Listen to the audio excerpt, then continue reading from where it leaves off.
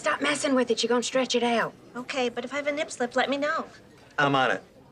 I'm not on it. I'm just eye level.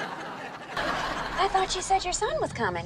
Oh, he's meeting me there. Where's Andy? Ugh, we've already heard the story. He had to work. So sorry you had to suffer through that twice.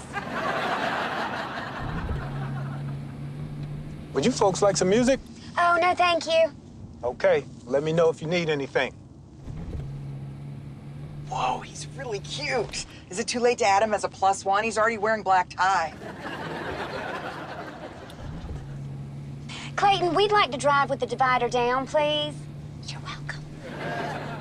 So how do you park this bad boy? Very carefully.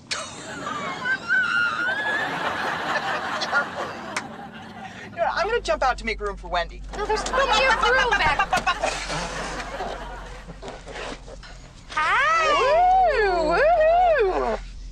That's a great dress.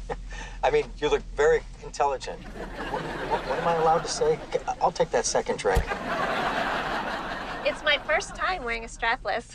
Good for you. I've always wanted to wear one of those, but I'm too afraid it'll fall down and I'll end up exposing myself, you know, not on purpose like I used to. I never thought of that.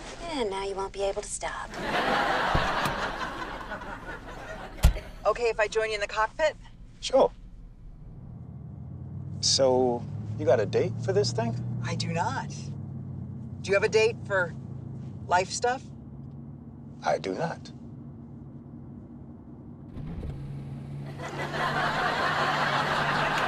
This food is off the charts delicious. Well, don't fill up, because there's still dinner. There's dinner? I feel like I'm on Dynasty. Just hope it's better than the mini quiche, which is not agreeing with me. I'm gonna go bring some food out to Clayton. He's probably really sexy. I mean, hungry. Shut up. Hey, stop messing with it. You're gonna stretch it out. Okay, but if I have a nip slip, let me know. I'm on it. I'm not on it. I'm just eye level. So it'd be easy for me to be on it, but I'm not on it. Still no word from your son, whose name is Lorenzo? It's Jerry. And no. I guess he's not coming. Of course he is. He's probably just running late. No. He's punishing me For what? for all the things I missed in his life. Hey, maybe he got in a terrible car accident and maybe that's why he can't be here, because he's trapped. Alive and fine, but trapped. Why am I worried about your speech? Clearly, you can read a room.